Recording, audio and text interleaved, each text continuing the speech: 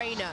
Susanna. All right, Gio, I know that you have won this competition a couple times before, but how sweet is the third time? It never, never gets old winning titles with your country, so um, I won't take any of them for granted. I'm so happy for the guys and how we played today and how we fought through adversity, and it was uh, just a great game, and I'm so happy for everyone. You scored in a final before, you scored tonight, you have a whole bunch of assists in this competition. You look like you are playing with so much joy. How much fun are you having being back with these guys? Uh, you know, the group of guys and the energy we have here, um, it's, it's amazing. I always love coming to camp. It's really, I really mean it from the bottom of my heart. It's a great group of guys, and they're so great to work with and be around. Um, so, yeah, I can't really say much more. I'm lost for words right now, and it's just, just an honor to play with these guys from my country. As you look ahead to what's going to be a big summer for the United States, how important was this win and winning this title? Uh, I think it's big for momentum. I think we've been together with our core group for a while now, and I think we know what it takes to win big games and, and tournaments, and hopefully we can carry that into Copa America and, you know, have a great run there and maybe even lift a trophy. So um, that's a little bit far down the road, but I just want to enjoy tonight with the guys. Okay, before I let you go, how happy are you for Tyler Adams and that strike? Oh, my God. I, he's right over there. I, I, love him to death. He's also being in... Uh, I've had my tough moments through injuries and uh, a few years ago, so um, I know what it takes and I know how hard it is. And yeah, I'm just I'm just so happy for him. He's a great guy. He's so important for the team and for the group as a leader, and obviously as a player. You saw the performance he did tonight, and uh, unfortunately he was on minutes restriction. We would I would have loved to have him out there a little bit more, but nah, I, I just love him. I'm so happy for him, and that uh, yeah, hopefully we can just build on and keep continuing our relationship on and off the pitch for the next 10 years, hopefully. So. Well, Gio, congratulations. Go celebrate.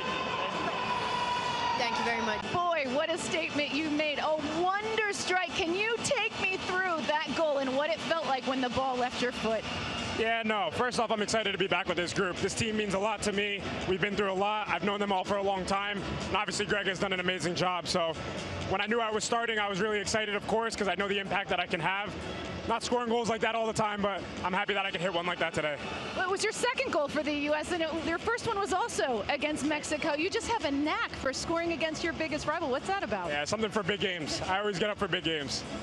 I want to ask how special this moment is for you because not only are you back, but your son has been here and you're here with your family. What does it mean to you to be able to share these special moments with your family and now your newborn son?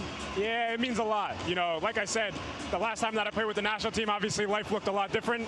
Um, now with the, my son here, my fiance here, um, the impact that they both have had on me has been phenomenal. They've gotten me through a lot of dark times. Um, but yeah, being here and sharing this moment with them, I can't wait to see them and give them a big hug.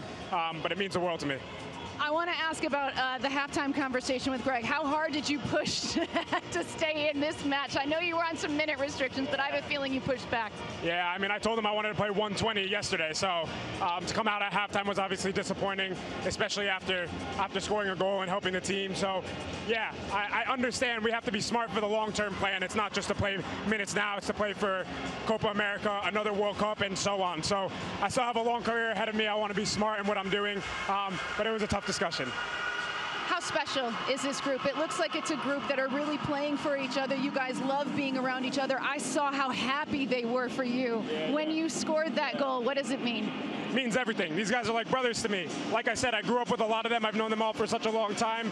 And if I didn't grow up with them, I was watching them from afar, keeping track on their development and what they're doing. So to bring this group together and see how far we've come in the past couple of years says a lot. You know, people have a lot of question marks about this, about that. But to see what we do week in, week out, when we have the opportunity to work together, we continue to grow. So it's special. Welcome back, Captain. Thank you very much. Congrats. Thank you.